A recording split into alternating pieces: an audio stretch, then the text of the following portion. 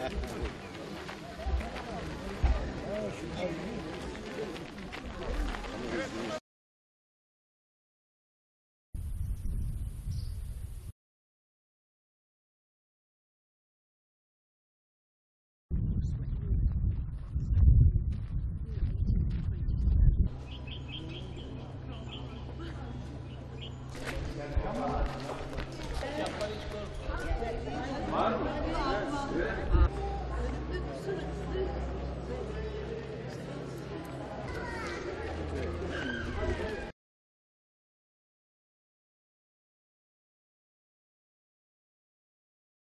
Biliyorsunuz Antalya e, öğren yerleri zengini bir şehir.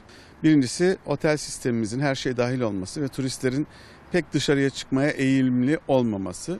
İkincisi Antalya'da Mayıs ayından itibaren sıcaklıkların ve nemin çok yükselmesi ve her biri açık alanda olan öğren yerlerinin ziyaretinin güneşin altında neredeyse mümkün olmaması.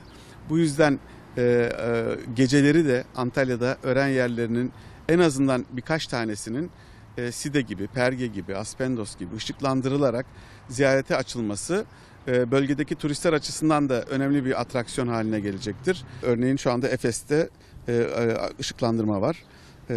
Her akşam neredeyse herhangi bir etkinlik var. Daha başka örnek vereyim. Mesela Mısır'ın piramitleri her akşam ışıklandırılıyor. Öğren yerleri ve öğren yerlerinde sergilenen, ziyaret edilen yerler aslında hikayeleri vardır. Hepsinin bir hikayesi vardır. Yani oralarda onların hikayeleri anlatılır. Bir heykelin hikayesi anlatılır. e, Bir binanın hikayesi anlatılır. Bu hikayeler tabii ki e, gece masal gibi e, ortamında belki bir ay ışığında biraz da küçük bir projektörle e, yapılan bir aydınlatmayla çok daha etkili hale gelebilir. Güneşin altında 40 derece sıcaklıkta o kadar hikaye dinleyecek fırsatı olmaz insanların. Tabii özellikle yaz döneminde sıcakta Aspendos ve Perge turları ciddi bir eziyet oluyor rehberler için. Misafirler de uzun süre zaten güneş altında kalmak istemiyorlar. Rehberlerimiz e, mümkün mertebe anlatımlarını gölge alanlarda ve tarihsel anlatımları otobüste gerçekleştiriyorlar. Belli bir yaşın üstündeki misafir daha ziyade kültür turlarına e, rağbet gösterdiği için uzun süre orada kalmak istemiyorlar.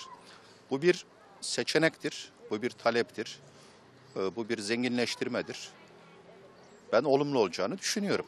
Antik şehirlerimizin akşam aydınlatması, gece aydınlatması ve de o esnada tur düzenlenmesi ve de mümkünse bunun küçük e, müzik, konser, resim gibi sanat dokunuşlarıyla zenginleştirilmesi bütüncül bir anlayış olacaktır.